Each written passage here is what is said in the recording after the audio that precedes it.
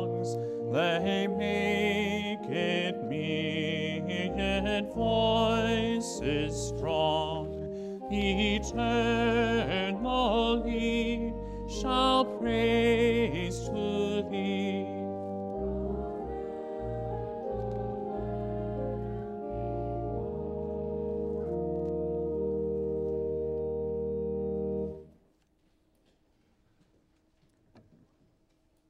Grace, mercy, and peace be to you from God the Father and from the Lord Jesus Christ, who gave himself for our sins, that he might rescue us from this present evil age, according to the will of our God and Father, to whom be glory forever and ever.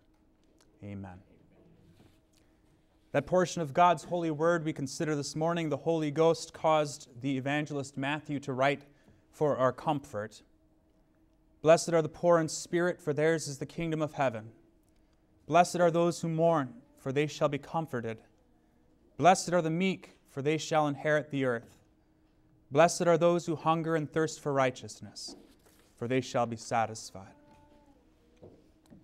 These are your words, Holy Father. Sanctify us by the truth. Your word is truth. Amen. There was a man named George. He was coming home from work one day in a terrible state. He had just been fired from his job for accusations of embezzling money. As he gets out of his car, his wife comes to meet him, not with the hug and kiss that makes married life so happy for a working man, but with a look of anger and shame on her face. I found out about the affair, George. How could you do this to me? You're worthless. They came and took everything we have. I'm taking the kids and leaving. Don't ever speak to me again. And she stalked off in a huff of insults and tears. Shocked by the end of the closest relationship he had ever had and by the loss of his children, George entered his house to find out that they really had taken everything. The IRS had audited him and had come and confiscated everything of value in his house for auction. And as he was standing in the living room, dazed by the disasters of his day, someone came through his open door, taped a white sheet of paper to his front window, and said to him, You have to vacate these premises immediately. Your house has been foreclosed. If you give me any trouble, I will be forced to call the authorities. Further stunned by the loss of really everything he had, George walked out to the sidewalk. He tried to look and see what he had lost, but it was too much for him.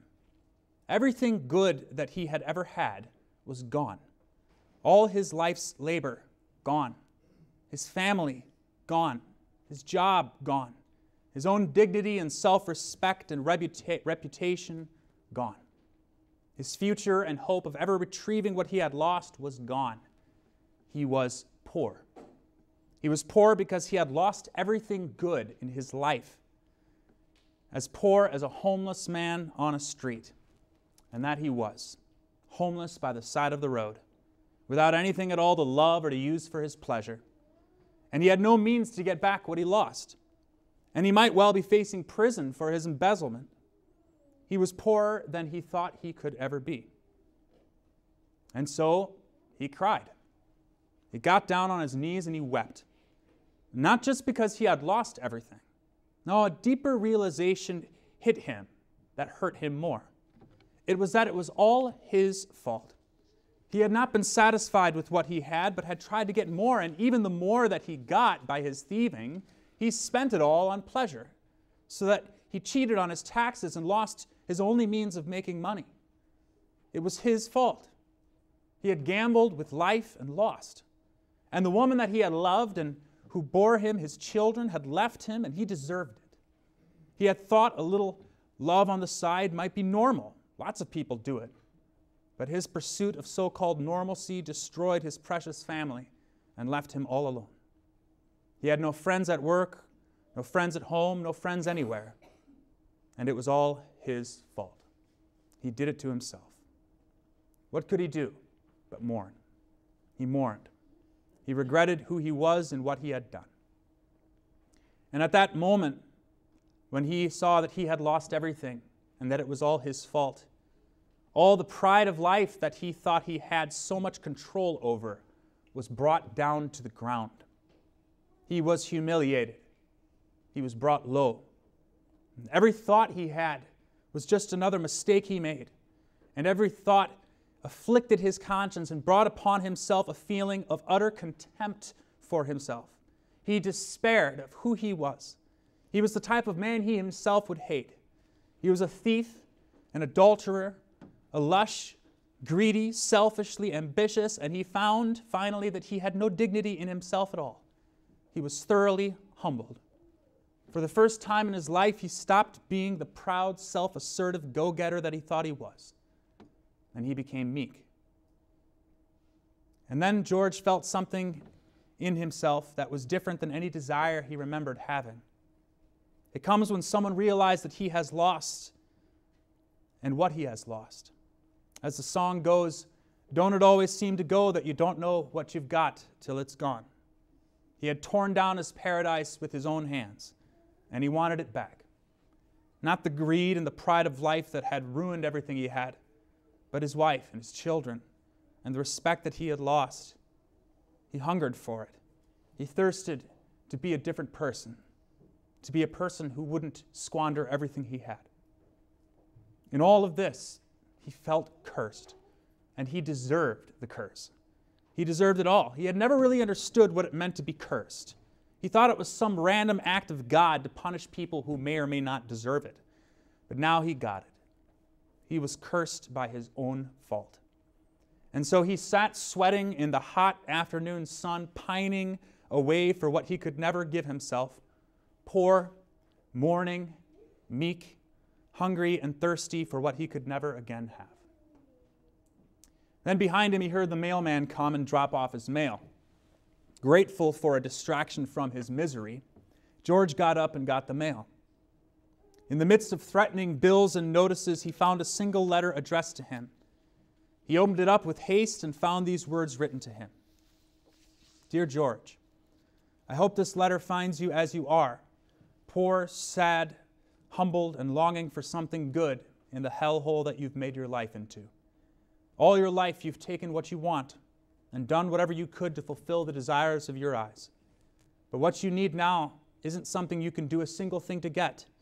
What you need now isn't something to plot and plan over and find some way for you to work your way up. What you need is forgiveness. I forgive you. I forgive you for rebelling against me and defying my authority when I only wanted what was best for you. I forgive you for taking your inheritance and squandering it on pleasures that are all now gone and have left you ruined and alone. I forgive you for every failing, every disrespectful word you spoke to me, everything you've done to break my heart. You don't even have to ask. I forgive you. It's all clean. I have sold everything I have and paid the IRS your debt I have interceded with your boss and paid what you stole so that they will not press charges and throw you in prison. I am, as of this afternoon, that you will receive this letter, speaking with your wife right now to reconcile her to you. I pray that she will be reconciled. I do this because I forgive you and I love you, and there is nothing I want more for you than that you would know in the midst of all your suffering that you are blessed beyond compare. Don't despair. I have invested some money that you will have someday. For now you will live as the poor pauper you are, but know this your debt is gone, your crimes are forgotten. Come home. All things are ready for you here. Love, Dad. George is the sinner and the saint. You belong to the Holy Christian Church. There is a church on earth and there is the church in heaven, and they are one and the same church. George belongs to the church on earth. The church is made up of all those who believed in Christ here on earth. Those who believe in Christ first come to acknowledge their sin. They must know that they are sinners if they are to be saints. Only when they know their sin will they desire to be freed from it. George had to know what he had lost before he could really desire what he needed. The first three Beatitudes teach us what comes before faith And the fourth beatitude teaches us what faith is. The first beatitude is Blessed are the poor in spirit, for theirs is the kingdom of heaven. Repentance is like coming home one day and finding that you have lost everything. But it isn't material things that you've lost, it's heavenly things. Heaven has been foreclosed on you. You are cast out of it. All the good things that you have done haven't done a bit of good. In fact, instead, your works have angered God and have alienated your neighbors from you. You are poor in spirit. This means your spirit has no help or aid to give to save you. You are by nature spiritually dead in your sins and trespasses, as the scripture says in Ephesians 2. You have nothing to offer to God or anyone that is spiritually good. You have, as St. Paul says in Romans 3, altogether become corrupt. You are poor in spirit. And Jesus promises to those who have recognized their sins that the kingdom of heaven belongs to them. You see that you have lost everything and Jesus, in turn, promises you everything that you have lost and more. And Jesus can do this. He has the authority to do this because he himself was rich in spirit but became poor for your sakes. He was rich spiritually. He did all things well, but he became poor for your sakes. He became poor spiritually. What does this mean? This means that he took your sins, your debts, and he claimed them as his own, and he paid them not with gold or silver, but with his holy, precious blood and with his innocent sufferings and death. Why? That you may belong to him and live under him in his kingdom. Blessed are the poor in spirit, for theirs is the kingdom of heaven. The next step of repentance, after realizing that you have lost every good spiritual thing, is to mourn because it's your fault. That's what happened to George. It isn't God's fault. It isn't your neighbor's fault. It isn't society or the media or your sorry lot in life. It's all your fault that you haven't loved God and haven't loved your neighbor. Mourning in the way that Jesus here describes it means recognizing the crimes that you have committed against God, owning up to who you are and what you have done. And Jesus promises to those who mourn over their sins that they will be comforted. This is the second beatitude and the second step of repentance. Those who mourn will be comforted. This is the comfort of nothing else than the good news, the gospel. Jesus himself earned this comfort. He mourned while he was here on earth, and not just when he wept for Lazarus, but when he hung naked on the cross and abandoned by everyone he loved. And even though it wasn't his fault, he claimed that it was his fault.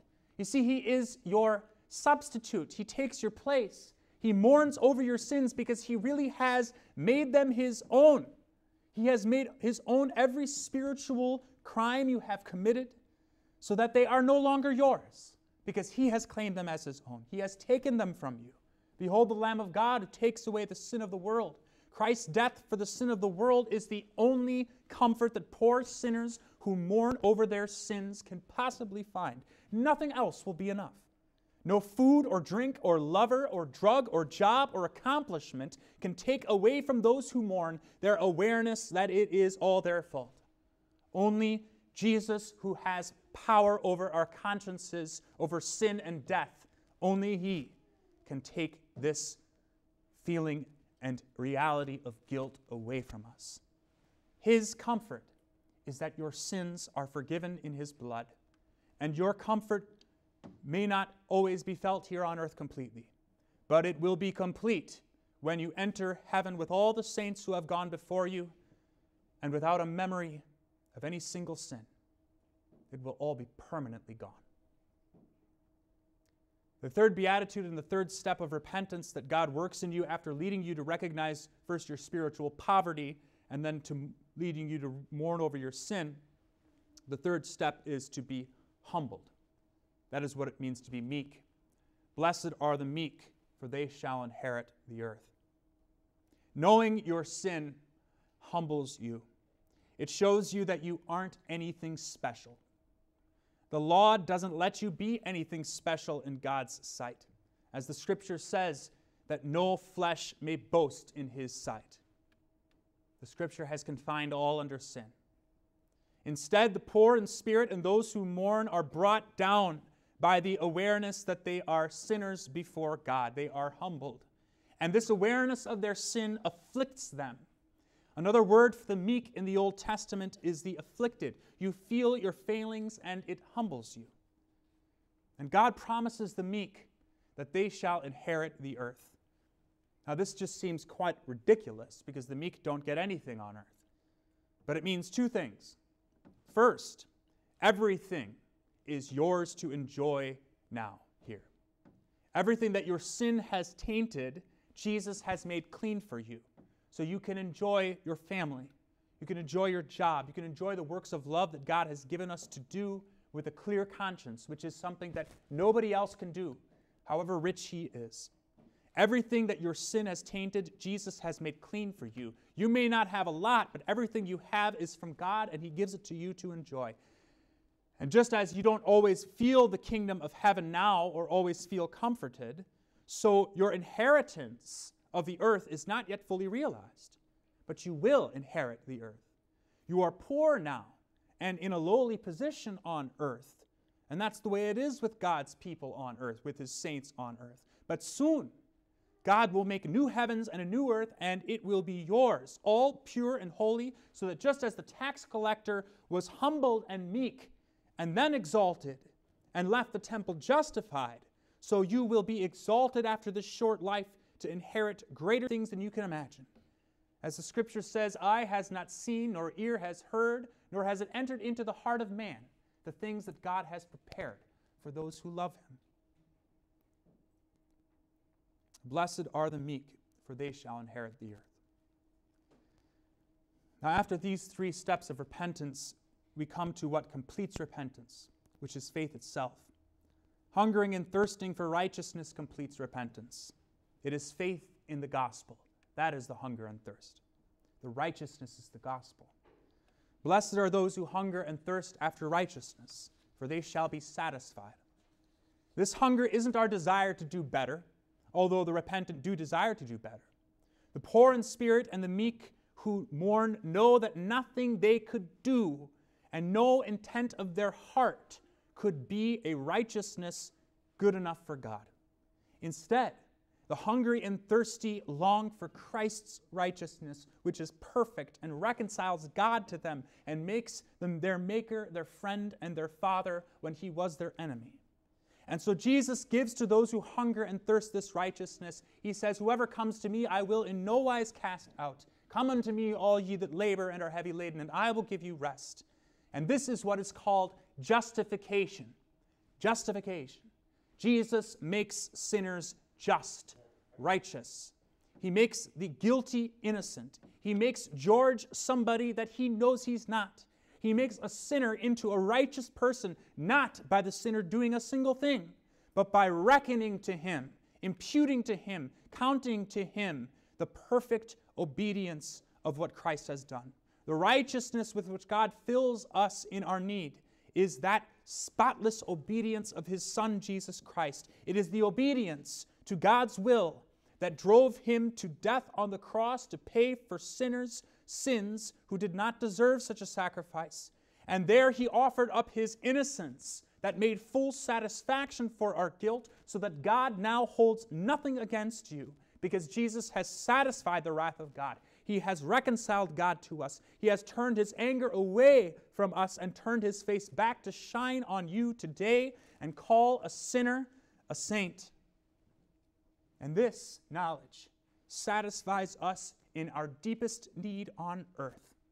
In the face of death, in the face of the loss of loved ones, in the face of the loss of everything that we have that we have found good in our lives.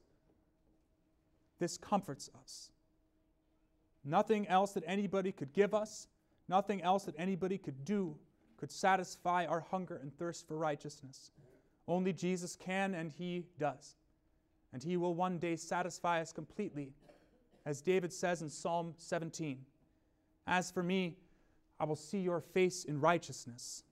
I shall be satisfied when I awake in your likeness. It is so with the church of God.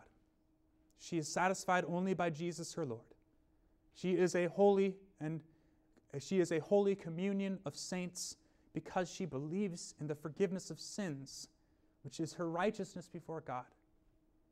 This is the hope of every sinner who has ever lived, whether it was a small, small flame of faith or a glowing fire. This hunger and thirst for righteousness was satisfied, and it was satisfied by Jesus. And that means that every sinner who believes in Jesus overcomes death and becomes a saint. So, brothers and sisters, embrace these two titles that the Beatitudes teach you sinner and saint. Sinner, because it reminds you of your great need for forgiveness, of your need for holiness. And only sinners will be blessed by Jesus. Saint, because the blessedness of which Jesus speaks is to make you holy. That's what saint means, holy. It is to give you a kingdom that is heavenly, that is above all the evil that you see in yourself and in the world. It is to forgive you all your sins and join you in holy communion with all the saints in heaven and on earth. And that is what it means to be blessed, to be saved from the curse that we see around us. God grant us such faith in the face of trials and persecutions, that face fruits of mercy, purity, and peace may abound among us always. Amen. The peace of God, which surpasses all understanding, will keep your hearts and minds in Christ Jesus. Amen.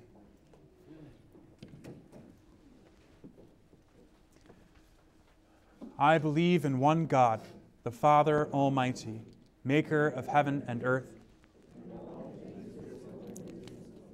and in one Lord Jesus Christ, the only begotten Son of God, begotten of his Father before all worlds God of God, light of light, very God of very God